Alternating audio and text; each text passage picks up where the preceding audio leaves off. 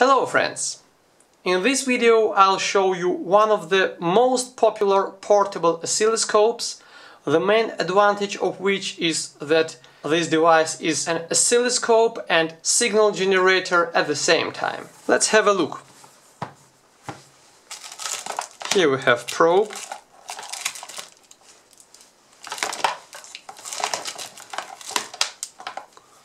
This probe is for measurements. And this is for signal generator. A gift. The charger for the batteries, but batteries were not included. USB cable with the help of which you can transfer the snapshots to the PC and also you can charge the battery inside of this device from any USB source. Here we have only manual. I have found the manual in English, Chinese and Russian. And this is warranty card. Regarding the power supply of this device, it has no external power source and I have revealed that standard batteries 18650 like notebook batteries cannot work here because the plus contact is flat. That's why I have put the metal strip of notebook battery here and now this contact is not flat. As to the second space, it's for the reserve battery because inside here we have no contact between these plus contacts and also we have no contact between these minus contacts. Let's turn on this device. Long press and in some seconds it turns on. Here we have battery level indicator, mode auto, this is time base, here we have 1 volt per division, DC offset, channel 2 is off, and here we have functions. In case of channel 1 we press channel 1 in case of channel 2 we press channel 2. Here we have channel status and all the functions 1, 2, 3 can be changed with the help of these buttons F1, F2 and F3. So display open means that the channel is on. In case of F1 now we have display closed. It means that the channel is off once again it's on the probe is 1x in case we press F2 it's 10x and 100x and here uh, the measurement will change. And coupling you can change DC and AC the second pressing allows to measure the parameters. So here we have maximum value, minimum value, duty cycle, if it's present, and peak-to-peak -peak level. Almost the same we have in case of channel 2, but the difference is that here we have no parameter number 2. Display close, let's press F1, now it's open now it's closed. We have now F2 and invert close in case of pressing. F3 we have invert open. Let's close inversion. As to the button auto. If we press this button it will adjust the voltage. So it writes 40 volts, then 10 volts, then 5 volts, and 1 volt. So it tries to measure and adjust the screen to the optimal voltage. As to the button HORI, it means horizontal, but it also has two modes. Here, in horizontal mode, we have three functions display close open. Source. This is source of synchronization and type voltage. So it means that we can turn on the markers here in case of display open. Here we have two red markers and we can make measurements in case of a signal. Let's turn on Uh, a sinusoidal signal from the same device. Okay, let's let it be square. So in horizontal, by pressing of up down, we can change the time base. And in case we would like to measure the voltage, we can go to the second mode of this button now we have horizontal and the second mode is cursor. And in case we press this up and down, we adjust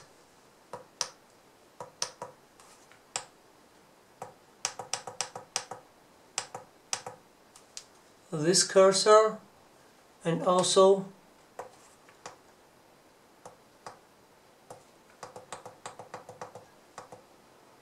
we can adjust this red cursor. And all the data we have here. Here we have the horizontal cursors. In case of vertical cursors, we again should press the button HORI and here we have type voltage. Now we have time type time. So in case of measurement of period, we should adjust this red cursors. As to the button Run, if you would like to freeze the measurement and oscillogram, you just press this button and it freezes. To unfreeze, once again. Trigger mode can be changed here. So edge trigger we have here uh, by means of this function slope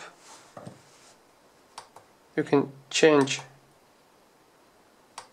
the rising and falling. Synchronization channel is channel 1 you can change it. Channel 2 channel 1 and T mode trigger mode is auto also. Normally and single. As you have already noticed in the mode horizontal you can change the time base this way.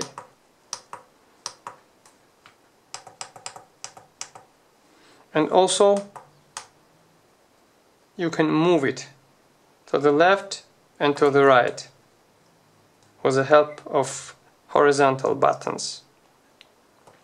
And as to the voltage, in case of channel 1, if we speak about the channel 1, here is vertical is sensitivity. And horizontal. So left and right. Change the position DC offset. And also here we have the measurement of it the value. Now it's okay. As to the menu button here we have waveform save. So the function one is ref A, ref B. The F2 is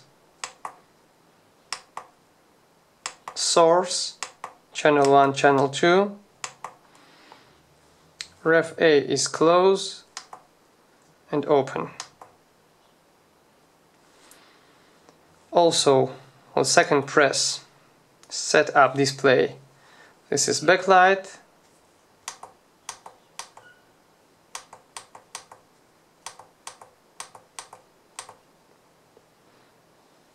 six values.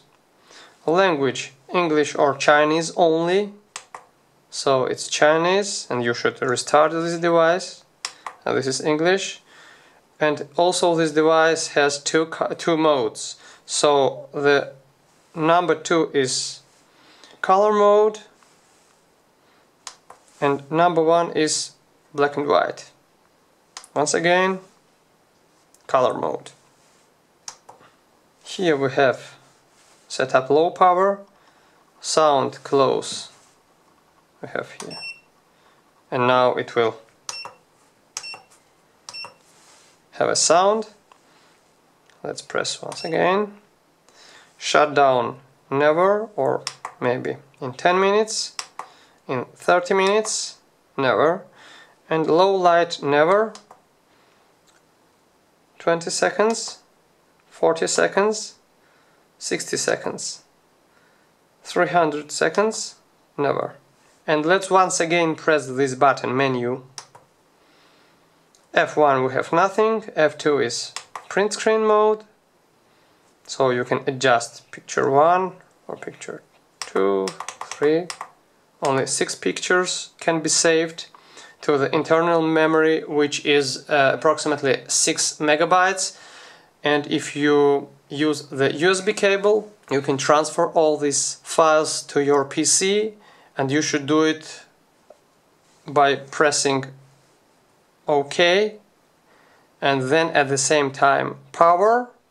And after that it will be switched on in flashcard mode and you will see the external drive in your PC. And here we have a restore of factory settings. And now let's check the signal generator. F1 is frequency and the second pressing is offset.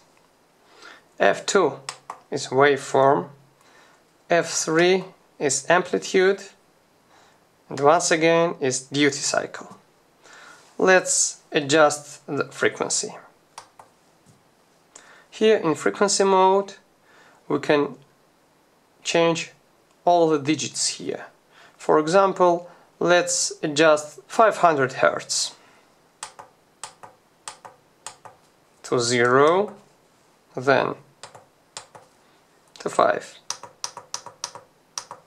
And let it be sine wave. Oscilloscope mode. We move to hori, horizontal, sorry.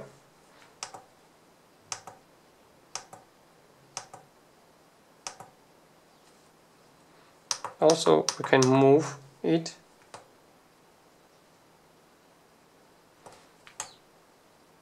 to the left or to the right. Now let's change to 1 megahertz. So for sine mode the maximum frequency is 5 megahertz and for the rest functions and rest waveforms the maximum is 1 megahertz. Okay, oscilloscope mode. So it's pretty decent. Now let's have a square waveform. And duty cycle 40%, okay. For 1 megahertz I can say that it's not bad. Really not bad. I really didn't expect such accuracy. But for this price, uh, this device is really excellent. Now we have the probe on the second channel. We move to second channel, display close, display open, and here we have the signal.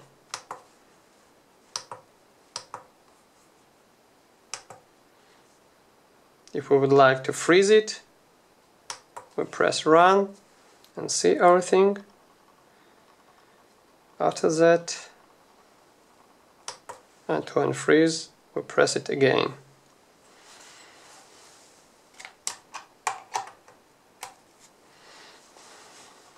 Now we have the signal on the channel 1. But in case in the signal generator we choose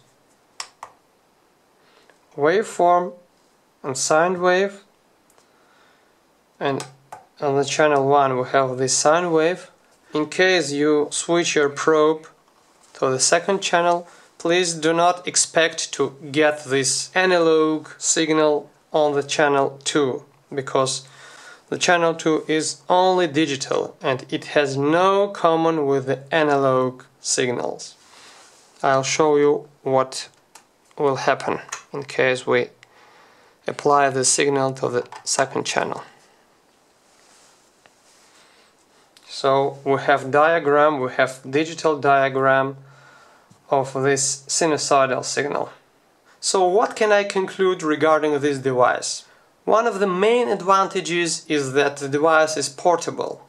It's not so big, its weight is less than 400 grams, it can operate on one battery approximately within some hours, and according to the measurements, it can really work with a frequency of 20 MHz and even more, approximately 22-23 MHz, and it's okay in this mode. As to the disadvantages, the second channel is not analog and the function which was available in the previous model X, Y mode is not available here and you cannot change this digital mode to analog mode. The second disadvantage for some users may be the fact that this device has only buttons and they cannot rotate any potentiometer to adjust time base or voltage but in my opinion if you have the device which can operate on one battery within hours and which is portable and really does not require any AC source and you have the possibility to go anywhere and measure anything below 20 megahertz this device is really excellent not to mention that besides its main mode oscilloscope.